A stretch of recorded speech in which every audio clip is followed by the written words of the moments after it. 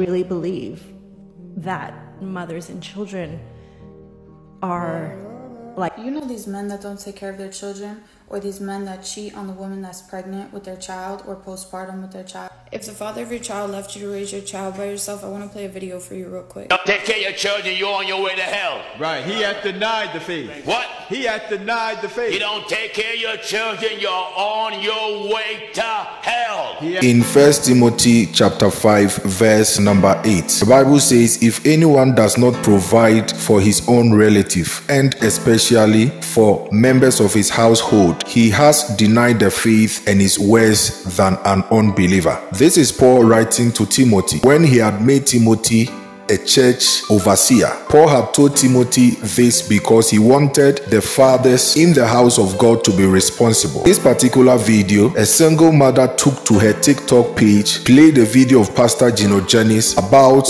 baby daddies who have become irresponsible and does not want to take care what will happen to them when they die. Now, watch how wonderfully this lady plays the video of Pastor Gino Jennings and the amazing message he had for every single mother and also baby daddies who do not take care of their own children. As you watch this video, leave your comments under the comment section If the father of your child left you to raise your child by yourself, I want to play a video for you real quick. Don't take care of your children, you're on your way to hell. Right. He had denied the faith. What? He had denied the faith. You don't take care of your children, you're on your way to hell. He had Did you hear what I said? That's right. Every man, black, white, yellow, brown, red, orange, if you stripe it. Hey. I want to show you how God feel about bums. But if any If any, provide not for his own, provide not for his own, and especially for those especially for those of his own house, of his own house. he hath denied the faith. No, he's in the church. He hath denied the faith, He denied the faith. and is worse. He's what? Worse. What? Worse. What? Worse. Worse than what? Than an infidel. And so you can't complain if that woman or children don't respect you. That's because right. not even God respect you. That's right. A man that's a real man, he'll go without a roof to make sure his kids have one. A man that's a real man will go without a shirt and make sure his sons and daughters have one. That's right. Why bring a child in the world and you can't take care of it? Go ahead, bro. You looking for everybody else to take care of it. Yeah. Other than yourself. There's too many women that don't want to work but left with no choice to work, tired, exhausted, working to take care of their kids while the husbands are doing nothing. Five months go by and give the girl a dollar. Then say, well, at least that's something. they have no respect for no man Go ahead. who won't take care of his own. Amen. If you get a child of wedlock, you still take care of it. Still take care. You're on your way to hell. These men have so many demons attached to them that if you saw them, you wouldn't want to be around this person. You wouldn't want to sleep with this person. You wouldn't want to live with this person. You would never want to be around this person, okay? You need to start praying and coming against every demon in the father of your child's life in the mighty name of Jesus. You need to pray every single night that anybody in his life that is sent to hold him back from being a great man or a great father be removed from his life in the mighty name of Jesus. I'm not playing when I tell y'all to start praying for the father of your child that's a deadbeat. I know a lot of you might be like, why would I pray for him? I will never forgive him. I will never pray for him. Let me tell you something. You're probably the only woman praying for him. All those people around him, best believe they're not praying for him. They have demons they're trying to fight off too. They just don't talk about it. Nobody wants to talk about these things, but let me tell you something. The moment you stop praying for the father of your child is the moment you let the enemy win. No matter what the father of my child has done to me, has said to me, has put me through, has treated me, I pray for him every single night faithfully. It costs nothing to pray for someone. Don't ever stop praying for the father of your child. I really believe that mothers and children are like a forgotten species in our modern day society. Like you become a mom and then suddenly you're like pushed out. Go find your mommy and me group. Go figure it out on your own. Um, and we'll see you when you can be productive. That was a great work from Pastor Gino Jennings, one kind of minister within these end times who is so vocal when it comes about the gospel of our Lord Jesus Christ and will preach the gospel that is uncompromised, will preach the gospel that is unadulterated, will preach the gospel that is uncontaminated. He's one kind of a minister that preaches the gospel to powers that be. He's one kind of minister who preaches the gospel of our Lord Jesus Christ to the powers that be. He preaches the gospel without favoritism. He preaches the gospel to make sure that he is speaking exactly what is written. He will call what is a sin a sin and what is holy holy. And we thank God for such a voice like Pastor Gino Jennings. Now, after the sermon of Pastor Gino Jennings, the mind of God, the take of God over this particular issue is settled. Now, we have to understand or come to a point or in a terms of agreement that the God of the Bible is a God of justice and God of judgment. That whatever you do on earth, you will account for in the day of judgment. So the Bible said it is appointed unto a man to die at once. But after the death of man, there is judgment. And so, whatever we are doing on earth right now, we have to be extra, extra careful. The word of God is very plain and clear that any man who neglects his relative, that any man who neglects his wife, any man who decides not to take care of his own children, not to take care of the children he brought into this world, such a man is worse than an unbeliever. Now, you must understand that if a believer fails to provide for his children, for his wife, or for his household members, the Bible is calling such a believer worse than an unbeliever, then you must understand that there is a huge judgment or punishment to men who are living in this world, who have brought children and yet do not even care whether these children eat, whether these children are okay, whether the children are living well, whether they go to school, or how even their children survives. Scripture is very clear that God will definitely punish them. The lady that gave a latter sermon, now I will agree with her, whatever she had said, even though that particular message may not sound sensible logically, but as a spiritual woman or a Christian, you should be able to see some sort of sense in what this lady is saying.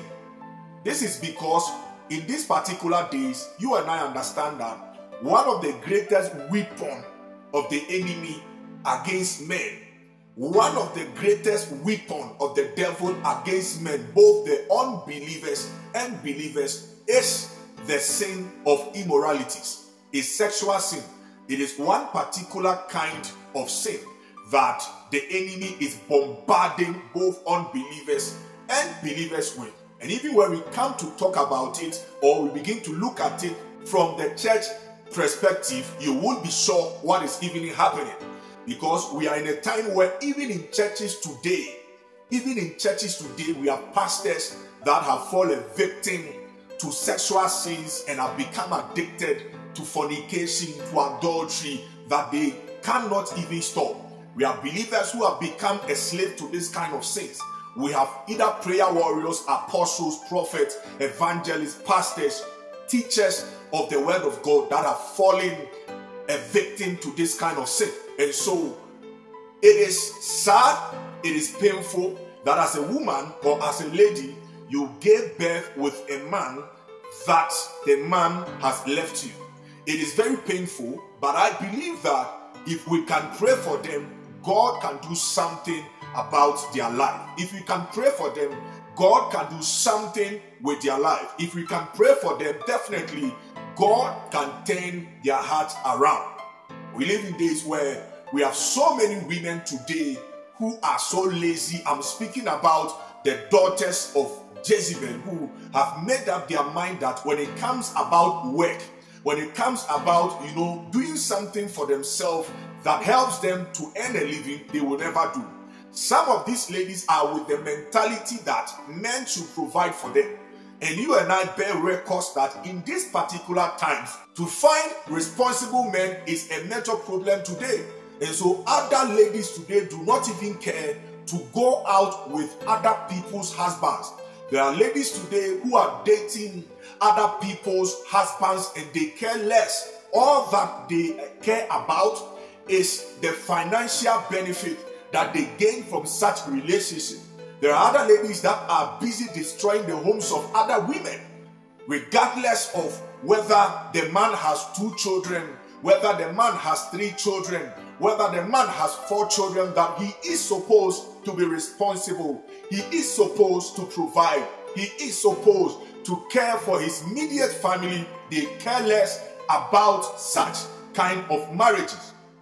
To them, what matters is the financial benefit. To them, what matters is the financial benefit, income that comes to them, that they are willing to go to any extent, even if you are a married man. Once you've got money to spend on them, once you've got money to spend on them, to spend on their needs, their, their needs, on, on their beauty, on their looks, they care less about the identification of the man they are dealing with, whether the man is a married man or whether the man has children. And so, this particular issue is very rampant today in our society.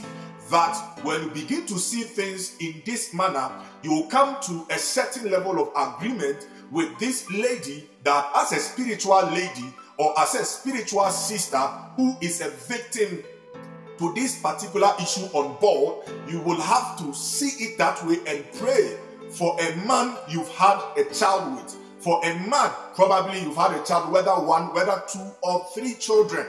It is there is a need for us to intercede for them. There is a need for us to pray for them.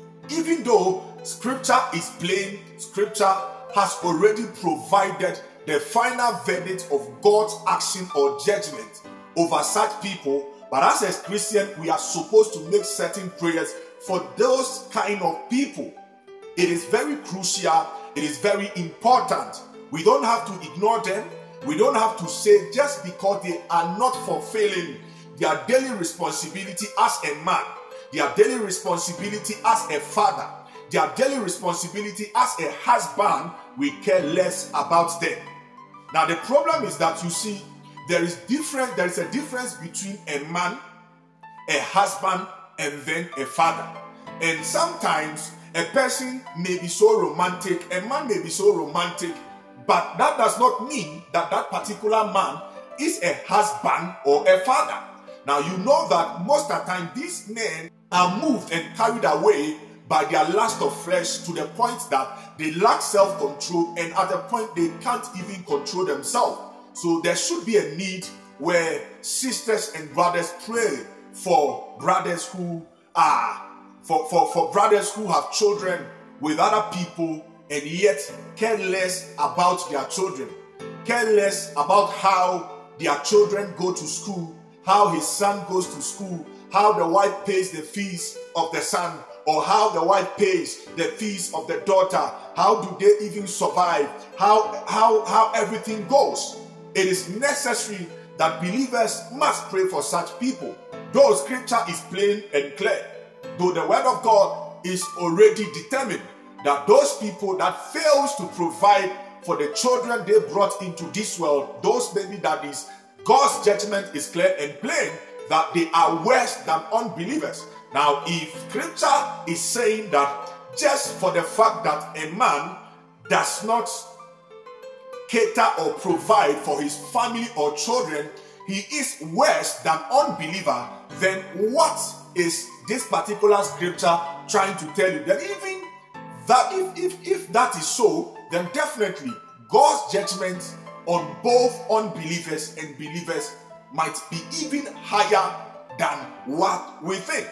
And so, though that is the reality we see in today's life, seeing our sisters seeing our mothers without husbands, without the same men that impregnated them, without the same men who made promise to them and made them to believe that they are going to be with them, but are no longer in their lives, well, we have to pray for them and trust God for a touch and trust God for repentance and trust God for a change of mind. Now, this is about global prayers. Like this particular video, share with me your opinion under the comment section, and then put me on the bell notification icon. I will be seeing you again in my next episode. Stay always blessed, shalom, and anointed.